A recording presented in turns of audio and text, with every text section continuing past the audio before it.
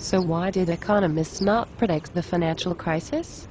Because they believe that looking at the way money is created is not important. What do you mean? They believe that it is not important that banks create money. What do you mean banks create money? Money is created when we borrow from the bank. How is that possible? Well, they have a license to create money called a banking license. But I thought it was illegal for any company to create money. Not for banks. Why not?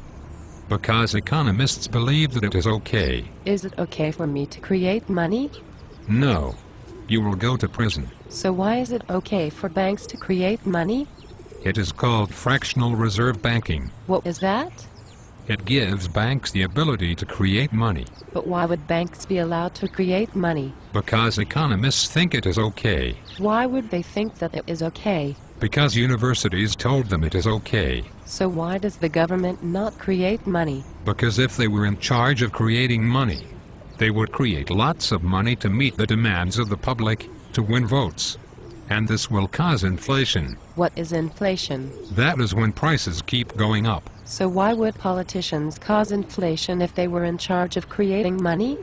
Because politicians can only get votes from the public if they promise to spend lots of money. So the government cannot be trusted to create money. That is correct. So they allow banks to create money instead. That is correct. Can banks be trusted to create money? No. That is why we get a financial crisis. Why? Because they create more money by issuing more loans. And the more loans they make, the more money they make. This means they will always want to create more money. How do they do that? Through a process called fractional reserve banking. Just look it up in Google. So if almost all money is created as loans, how do we repay the interest on the loans? We cannot. What do you mean? The interest to repay all loans does not exist. So how do we repay the loans? Easy. We borrow more. So for our system to stay alive we have to borrow more. That is correct. So banks have to issue more loans in order to keep the system alive. That is correct. But they told us the banks are evil. If they did not issue more debt we would have been in a depression a long time ago. By issuing more debt they are keeping the broken system alive. This is holding off the depression for a bit longer, whether they know it or not. But what about all the talk on the news about reckless bankers and bonus scandals? It is easy to get people angry at the banks. This diverts attention away from the problems in our system. It is easier to explain. Everybody wants to blame somebody. Bankers are the most obvious choice to blame because they were creating the debt and have gained the most from the system. However, most do not realize that we have to create debt to keep the system alive. And they have kept the system alive a little bit longer. So how do we borrow more to keep the system alive? That is easy. We take out more credit cards. We take on more mortgages. Our children take on more student loans. And companies borrow more. So we have not overspent like everybody is telling us. We are simply keeping the system alive. All the debt kept the system alive and prevented the depression. No spending on debt. No money. This is how the system works. But what happens when we have to repay those loans? We borrow more because our system has more debt than money. The money to repay does not exist. So we must borrow more. Does this not mean we have to borrow more forever, just to pay the interest? That is correct. So if we don't take on more debt, what happens? Then we don't have the money to pay the debt. So, then what? We declare bankruptcy. But when we go bankrupt, does that not mean money disappears from our system? That is correct. So how do we survive when money is disappearing? We do not. We go into a depression. What if we don't want to go into a depression? Simple. The government borrows the money for us instead. Why would the government borrow the money? Because the majority of people are too broke to take on any more debt. And the majority of businesses are too busy trying to repay their old debt. They cannot take on any more debt. Somebody has to borrow more, or the system collapses.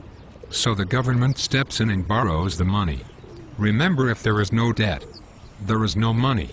And government debt increases forever despite the fact that they think they are trying to pay it off. What happens when the government borrows more? Banks lend more money and things eventually go back to normal. But we are still in debt. That is correct. And businesses are in debt? That is correct. And the government is in debt. That is correct. What happens when the government tries to repay the debt? They increase taxes and borrow more. They pay some of the interest with the new additional tax income. They pay most of the interest with more debt.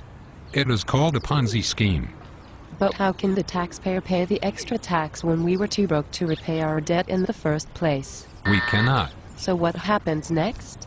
The government borrows more for us instead. What happens to the government debt? It increases forever. What happens when the government can no longer pay the interest on the debt? Then the government can borrow it from the central bank How? through quantitative easing. So the government borrows it from the central bank. That is correct. Where do they get it from? Simple. They create it. How do they create it? They just create it in a computer. Then what? The government needs to repay it plus the interest. But the money to repay all the debt back plus the interest does not exist. That is correct, so the next step is to increase taxes. Forever? But then we go deeper into debt? Correct, that is what economists call economic growth. So what happens if the government cuts back and stops spending? Then the economy goes into a depression. We get angry at the politicians. We blame whoever the current political party is. We then vote to change political leadership. The politicians then get angry at the bankers. The bankers take a bonus and resign. We then blame the regulators for letting it happen. The regulators then debate about how to patch up the broken system and keep it alive a little bit longer. But the problem still continues. We then blame capitalism and call it a failure.